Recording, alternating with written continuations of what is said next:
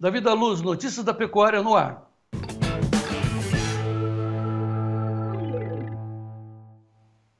Muito bem, Serginho, como é que nós estamos com esse preço do boi gordo agora?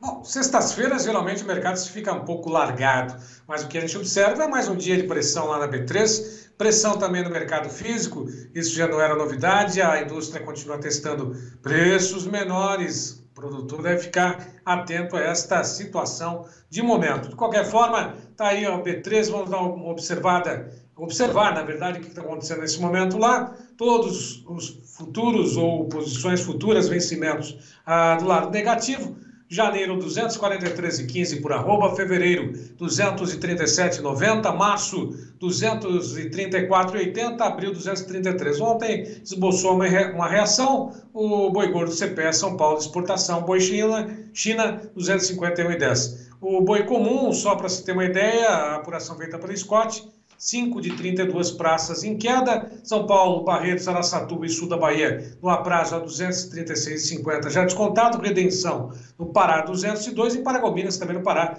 222,50. O Iberville Neto comenta o mercado nessa sexta-feira. Vamos lá, o Iberville Neto, Davi. Olá, Braga. Olá a todos. Braga, o cenário do mercado do boi gordo ele não mudou muito ao longo da semana, apesar de a gente ter observado uma pressão de baixa um pouco mais frequente. A gente não está vendo o mercado ceder, mas os frigoríficos estão testando um pouco mais o mercado, as escalas deram uma andadinha em algumas situações.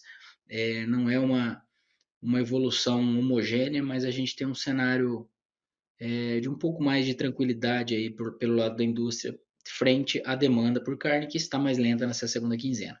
Vamos acompanhar como que isso evolui na, nos, próximos, nos próximos dias, né, nas próximas semanas, e, e, como que a virada de mês vai, vai impactar no escoamento, possivelmente ajudando a enxugar um pouco esse, esse cenário mais confortável de estoques para a indústria. É, então, sem grandes alterações em termos de preço, de referências, mas o, o mercado terminou a semana um pouco mais testado do que vinha sendo observado. Vamos acompanhar como que começa na próxima semana. Negociações nessa sexta-feira, volume muito pequeno, né? Isso é, é típico. E então vamos vamos acompanhando, sem grandes novidades por enquanto. Um abraço e até mais. Obrigado, Eberville. Está aí, João. Portanto, alongamento discreto das escalas em algumas regiões e a indústria testando preços menores, uma situação típica de uma sexta-feira. Então, o Sérgio Braga é, sempre vai colocar os seus amigos analistas é, dentro do clube para você trocar ideias. Você precisa, você precisa de informação, você precisa ter certeza do que está fazendo.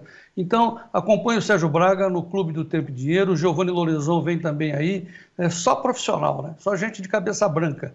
Então, seja assinante do clube, entre lá dentro, receba informações em tempo real e participe dessa comunidade de gente focada no agro, focada na economia do agro. Seja o produtor rural mais bem informado do meu Brasil. Para você entrar no clube, está aí o telefone 019 9 9813 2915. Esse é o telefone do clube. Nós temos o telefone que é o telefone do curso do Belinello. Esse é o telefone do, do, Clube dos Assinantes do Tempo e Dinheiro. Seja o produtor rural mais bem informado do meu Brasil. Cada dia, cada vez mais, o, o clube vai aumentando de, de, de assinantes, de associados, e o pessoal está muito satisfeito. E vamos melhorar muito, muito, muito. Hoje tem arroz lá no clube, certo, Serginho? É, daqui a pouquinho, às 15 horas, a entrevista é com a Andressa Silva, que ela é diretora da Bia Arroz, Associação Brasileira da Indústria do Arroz, falando um pouquinho sobre safra, mercado, preços e o que vem por aí, principalmente em relação a esse importante alimento, o arroz, João Batista.